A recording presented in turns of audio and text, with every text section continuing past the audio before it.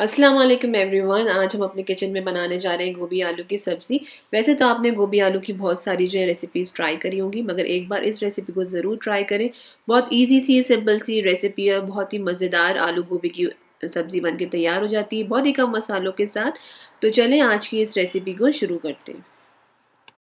गोभी आलू की सब्ज़ी बनाने के लिए यहाँ पे मैंने ली थी 250 ग्राम गोभी और उसको इस तरीके से मोटे मोटे फूलों में कट कर लेना है। बहुत ज़्यादा बारीक नहीं काटिएगा, वरना गोभी बनने के बाद सॉफ्ट हो जाती है और टूटने लगती है। इसके बाद हम इसे फ्राई करेंगे। यहाँ पे हमें इसे शेलो फ्राई करना है तो एक कढ़ाई में ऐड कर दिया था ऑयल और ऑयल डालने के बाद इस गोभी को मैं अच्छे से फ्राई कर लेना है। और यहाँ पे हम गोभी को जब तक फ्राई करेंगे, जब तक ये जो है इसके ऊपर हल्का सा ब्राउन सा कलर नहीं आ जाएगा और गोभी जो है सेवेंटी परसेंट गल नहीं जाएगी। यहाँ पे हमें इसे सत्तर परसेंट गला लेना है। अच्छे से मुस्तकिल चलाते हुए फ्राई कर लें ताकि गोभी हमारे नीचे से जल ना जाए। तो यहाँ पे अब आप देख सकते हैं गोभी के ऊपर हल्का सा ब्राउन सा कलर आ गया है। तो बस ये परफेक्ट कलर है। अब हम सारी गोभी को बाहर निकाल लेंगे और अब सेम ऑयल में हम जो है इसमें फ्राई करेंगे आलू। अब यहाँ पे हम इसमें ऐड कर देंगे आलूओं को। यहाँ पे मैंने दो दरमियानी साइज़ के आलू लिए थे और उसे जो है इस तरीके से लंबे टुकड़ों में कट कर लिया था। इसे भी हमें जो है शैलो फ्राई करना है। जब तक आलू के ऊपर हल्का सा ब्राउन कलर नहीं आ जाएगा और आलू भी जो है हाफ़ डन नहीं हो जाएँगे। तो अब यहाँ पे अब आलू जो है परफेक्टली फ्राई हो चुके हैं। और इन्हें बाहर निकाल लेंगे। और अब एक कढ़ाई में ऐड करेंगे थोड़ा सा ऑयल और उसमें डालेंगे हाफ़ टी स्पून ज़ीरा। और ज़ीरे को 20 से 30 सेकंड के लिए सॉटे कर लेंगे। अब हम इसमें शामिल करेंगे एक प्याज, ये एक दरमियानी साइज़ का प्याज था जिसे बारीक काट लिया था और प्याज को हल्का सा सॉफ्ट होने तक हम पका लेंगे। जैसे ही प्याज हल्का सा सॉफ्ट हो जाएगा, उसमें ऐड कर देंगे तीन बारीक कटी हुई हरी मिर्चें। साथ ही इसमें ऐड कर देंगे एक इंच अदरक का टुकड़ा बारीक कटा हुआ। अदरक का टेस्ट गोभी आलू में बहुत अच्छा आता है, इसलिए ज़्यादा क्वांटिटी में इसे ऐड करें। और यहाँ पे हरी मिर्च की क्वांटिटी आप अपने टेस्ट के अकॉर्डिंग कम या ज़्यादा कर सकते हैं। इसके बाद हम इन सारी चीज़ों को अच्छे से फ्राई कर लेना है, जब तक प्याज जो है लाइट ब्राउन नहीं हो जाएगी। तो यहाँ पे मुस्तकिल चलाते रहें और गैस की फ्लेम को मीडियम टू हाई पे रखें।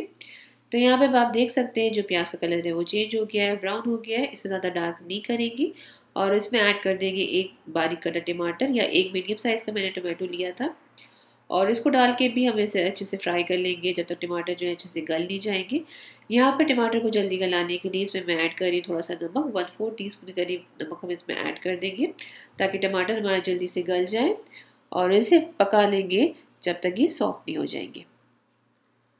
और जैसे ही टमाटर सॉफ्ट हो जाएँगे, अब हम इसमें मसाले ऐड करेंगे। Half teaspoon salt, half teaspoon लाल मिर्चों का पाउडर, वन टी स्पून धनिया पाउडर एंड वन टीस्पून भुना हुआ कुटा वजीरा ये सारे मसाले इसमें ऐड कर देंगे अब इसमें जाएगा एक बहुत ही इंपॉर्टेंट मसाला चाट मसाला इससे गोभी आलू में बहुत अच्छा टेस्ट आता है ये हाफ़ टी स्पून मैंने इसमें ऐड करा है और यहाँ पे नमक की क्वांटिटी को ध्यान में रखिएगा क्योंकि चाट मसाले में भी नमक होता है और अब थोड़ा सा पानी डाल के इन सारे मसालों को भून लेंगे अच्छी तरीके से से जब तक इसमें से ऑयल सेपरेट नहीं हो जाएगा और यहाँ पे मैं एक मसाला इसमें डालना भूल गई थी वो मैं अब ऐड कर दे रही हूँ हल्दी पाउडर तो हाफ़ टी स्पून के करीब हल्दी मैं इसमें ऐड कर रही हूँ और इन सब चीज़ों को हम अच्छे से भून लेंगे।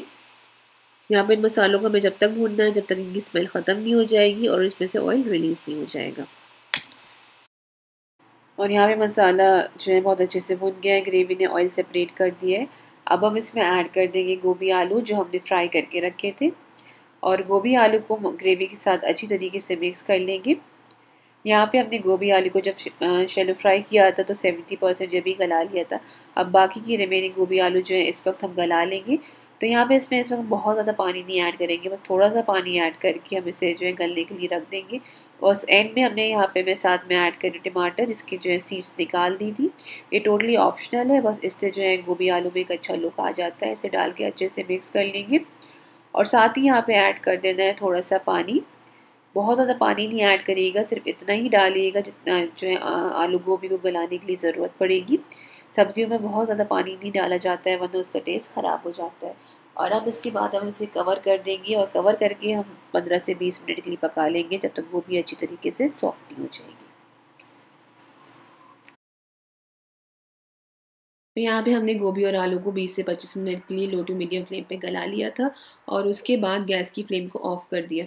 अब हम लिड को ओपन कर लेते हैं और देख लेते हैं गोभी और आलू अच्छी तरीके से गल गए हैं यानी यहाँ पे मेरी गोभी जो है बहुत अच्छे से गल गई थी। अगर आपको ऐसा लगे कि यहाँ पे आपकी गोभी आलू सही से गले नहीं है, थोड़ी सी उसमें जो है कसर रह गई है तो थोड़ा सा पानी ऐड करके दोबारा से जो है पाँच से दस मिनट के लिए और रख दें तो गोभी बहुत अच्छे से गल जाएगी।